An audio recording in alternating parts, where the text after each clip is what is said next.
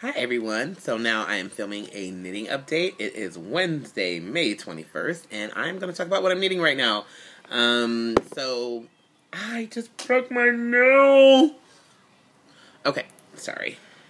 Had a little technical difficulty there. Anyways, um, so last thing I knitted was the Star Wars hat, which I finished and gave to my friend, and she loved it. And so I'm I have an order for another one that I'm making for a friend of mine. Um, I have to work on the charts for that one because I'm changing the design around a little bit, and so it's kind of like making it over from scratch. And then I have more colors to incorporate with this one than I did with the other one. The other one was just black yarn and variegated rainbow colored yarn, and so there was no color planning. Uh, this one, it has maybe about four colors in it, and so I'm going to have to kind of plan which color is going to go where and so that's going to be a challenge, but it should be fun. So I'm looking forward to doing that. But currently, what I am knitting is the Knit Picks Cozy Cocoon Shrug. Um, so as I've said before in my other videos, I've never made a sweater for myself or for anybody.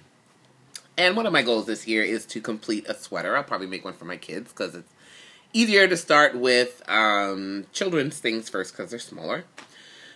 So I, uh, but I've had this kit for a long time, um, years actually. Uh, Knit sold it as a kit, and it came with the pattern and the yarns that you used for it. Um, and then I just had never made it, so I was like, you know what, I'm gonna make something different, and because I've been making a lot of hats and socks, and so I was like, I'm gonna try this uh, shawl kit and kind of knock this thing out and see how it goes. So um, it fell on the ground. I have to pick it up. but yeah, so anyway, so I'm just going to show you guys what it looks like really quickly. Um, and then I'll show you a picture of what the finished product is going to look like. So this is the what I'm knitting so far. Right now it's just like a rectangle of knitting. Hang on a sec. So here it is. Um, I have it on circular needles. I have it on, um, oh, what size are they? I want to say they're US size 8, 32 inch circular needles. Um, they're Addi Turbos, which I absolutely adore. They're like my favorite circular knitting needle are Addi Turbos. They're kind of expensive. They're like 20 bucks a piece. Um, but they're awesome. So I try to have as many pairs of Addi Turbos as I possibly can, but honestly, it would cost a small fortune to own all the ones that I want because they're like $20 each. But they're really, really good needles. They just, oh, they're very smooth, um, and the joints are the best part because I usually I use Knit Picks um, circular needles, and they're good. I like them. I have lots, several pairs. But what I don't like is the yarn catches a lot on this part where the cable and the needle. I don't know if you can see it. This part right here where the cable and the needle connects. Um, I notice on my Knit Picks needles um, that it does catch a little bit. Um, I never have that problem with any of the Addies that I own. So Addies are just their perfection. So um, and I really like the cable. The cable's not very um, stubborn. Um, the cable is really really flexible and has a lot of give to it, and they're just it's just an awesome needle.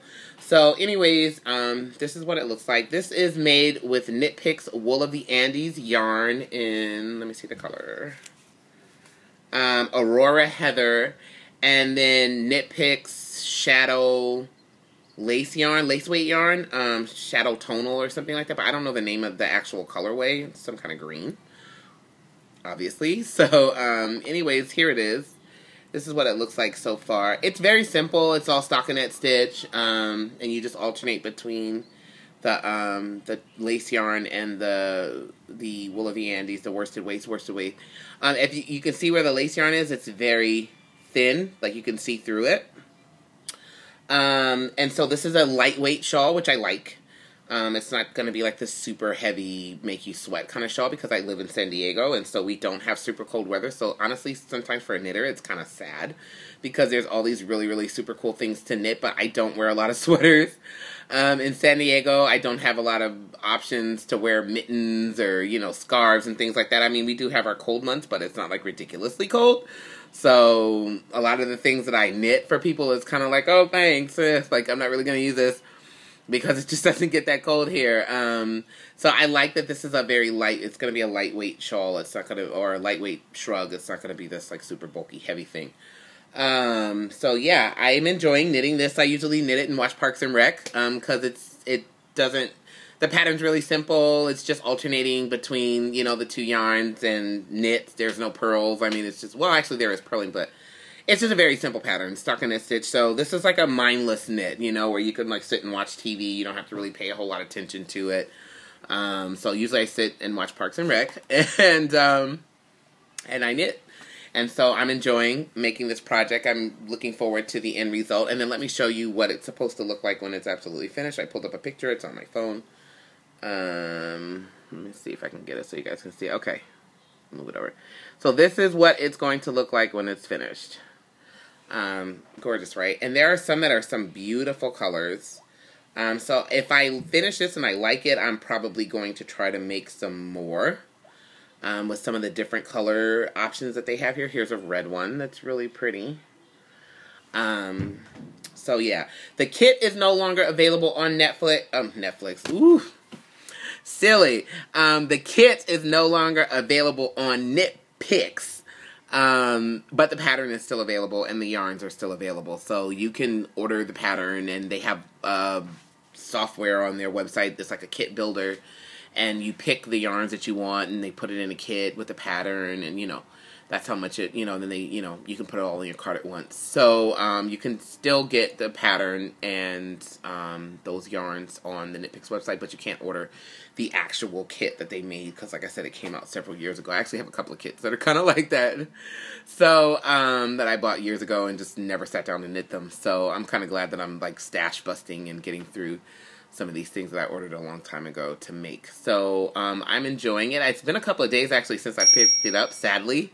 So, um, but I've been reading a lot. So it just seems like if I'm reading a lot, I'm not knitting a lot. If I'm knitting a lot, I'm not reading a lot. I need to find a way to incorporate them both. So if I can figure out a way to knit and not look at my knitting and read at the same time, and I'm telling you, um, that would be like utopia for me. So, um, but I'm one of those people that I have to kind of watch, um, kind of a clumsy knitter. So I have to watch what I'm doing, and so it's much easier for me to just watch TV because I can just kind of, you know, listen and knit. And a lot of people say, well, why don't you do audiobooks? But I just cannot get into audiobooks. So I don't know what it is about um, audiobooks that I just can't get into. I don't know if it's hearing the uh, someone else's voice and not my own.